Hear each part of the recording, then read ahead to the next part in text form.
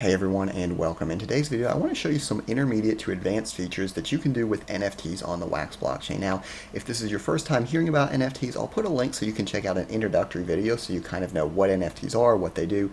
But if you've had experience with NFTs before you know that they can be traded, they can be sold, they can be created and they're a great way of kind of fusing those benefits of digital assets with the power of the blockchain. So in today's video I want to show you a little bit more of the advanced features that you can do with them, how you can burn an NFT, why you would want to burn an NFT NFT, how you can back an NFT with tokens, and again, why you would want to do that, as well as showing you how you can set up transfers and trades within the Wax blockchain using atomic assets.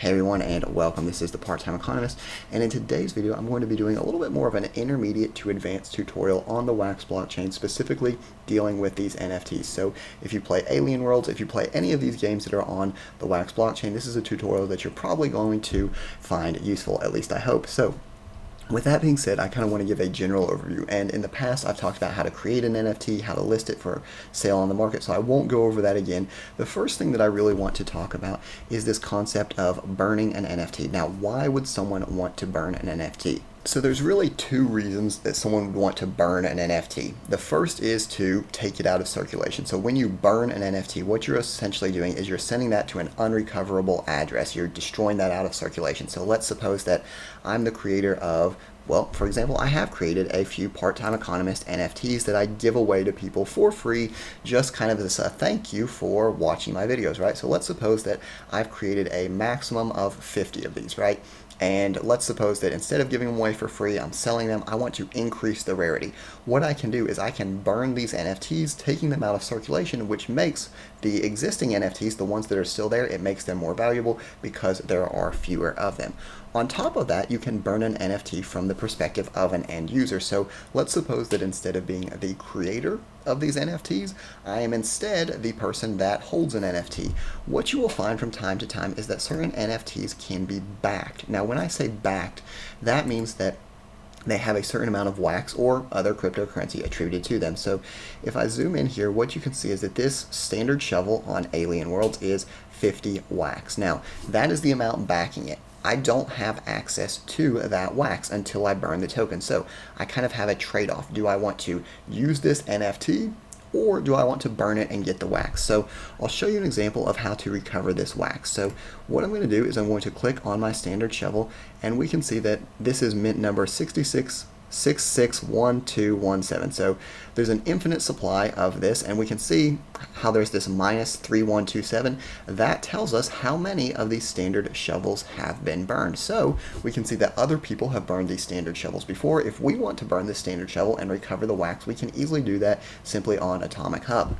And to do that, all we have to do is find it in our inventory, go down to more, and then we can see that we have the option to burn this token. It will say burning the NFT will destroy it permanently. This will unlock the back tokens within your NFT, and the tokens will become transferable. So what I do want to show you right now, I'm sitting at a balance of 526 wax, and I have my standard shovel. Once I go to more and click burn, I'm going to go ahead and confirm this and what you'll see, it will bring up a transaction. You will have to sign that with your Wax Cloud wallet. The transaction has confirmed, and then it will just be processing through the blockchain network. The transaction successful, and then if we go back, we're going to go ahead and refresh our page, and hopefully what you'll see, if we did everything right, yep, this Wax balance has increased by 50, just as we said, and then if I would find another sh standard shovel somewhere else on the marketplace, you would see that the total burn count of that item had increased by one. And just to show you an example of that burn count increasing, I'm going to do the exact same thing, but this time I'm going to do it with an NFT that I've actually created that has never been burned before, so you can see it being burned in real time. So I'm going to burn one of these part-time economist jungle NFT cards, and what you'll see is that it's never been burned before, so when we pull up a similar asset, you will be able to see that the burn amount has increased on that. And this is one thing that I'm not like super huge a fan of on the Wax blockchain is that you have to go through this I'm not a robot every single transaction, which I think if you do it once, that should be good enough, but it really kind of slows things down and makes it a little bit more cumbersome what we see is that that token has been burned and now obviously it's showing us it's not owned. We can't really do anything with it. And then one other thing that I do want to show you, if we go back to a similar item, we can see that just as I said, it has that minus one burn. So we can see that there's a total of 50. One of them has been burned. So this is a good thing because if I'm an artist, if I'm a creator and I'm saying, oh, I created 50 of these NFTs and I've burned half of them you don't have to take me at my word for that. You can actually look, you can see that that decreased circulation, that mintage has dropped. You can kind of hold me accountable and say, yes, you actually have burned these. So these are especially important if you're in a project where you're trying to show something is rare, show that something is more valuable. You can actually prove that it has indeed been burned as well as having a limited mintage. So with that being said, I kind of want to jump and show you the flip side of that. So I show you how to burn a token and recover the underlying assets.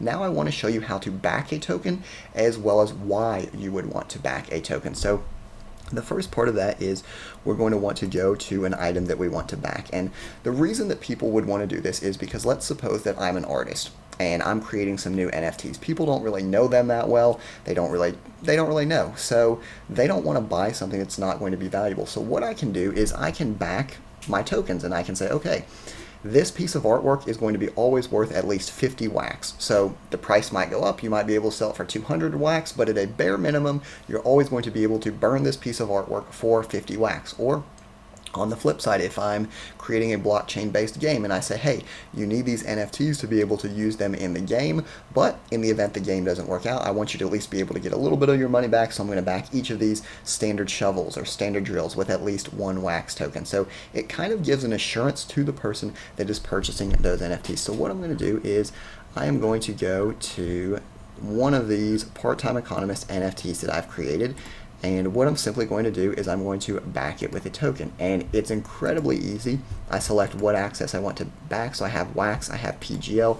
I'm going to be backing this token with one Wax. Now remember, once we back this token, the only way to get that token back is to burn the asset. So we can't simply unback it and take it away. We have to get it back from burning that NFT. So we're going to go ahead and click confirm that transaction has been completed and now obviously that token is going to be backed with one wax. And then what we see if we're scrolling through all of these similar assets on our page we can see that that token has been backed whereas the others have not. So it gives us a way of identifying kind of showing which tokens are backed which ones aren't. Now I do want to show you one more feature which is very interesting which is the trade feature. So I do have the ability to transfer assets to a friend. I have the ability to give them to someone else, to send them, whatever the case may be. And I can do this without having to go through the marketplace and selling. So I've showed you in the past videos how to list an item for sale. But in this one, let's suppose I'm doing a giveaway. I want to give it to a friend. I can simply transfer this without having to go through the marketplace. So I can go to transfer, and then I can simply enter the recipient address and put in a memo. So what I'm going to do is I'm going to use my alternate wax account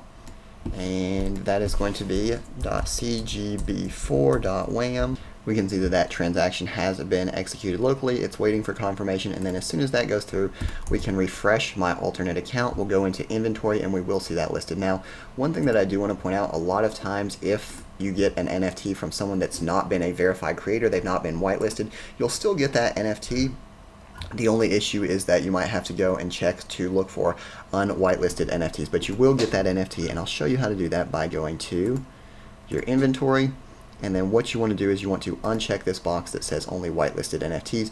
You can see the NFTs that you have. Sometimes this the cool thing about Wax and, or, or NFTs in general is that you really have ownership of these cards. So you can sell them, you can give them away, but the cool thing that I also like is you can actually set up a trade. So this is great if, for example, I have one card that I want to trade for multiple cards of my friends. I don't want to go through the process of selling them, converting them to wax. I want to do a direct peer-to-peer -peer swap just with one other person. So the way that I'm going to do this is I want to go to the assets that I have and I want to set up a trade. So let's suppose that my friend has a very limited edition part-time economist NFT and I'm willing to give him two NFTs just to get that one. So what I would do, I would go to more and I want to set up a trade. So I'm going to go to new trade and it's going to bring up the first item. So obviously this is a part-time economist NFT.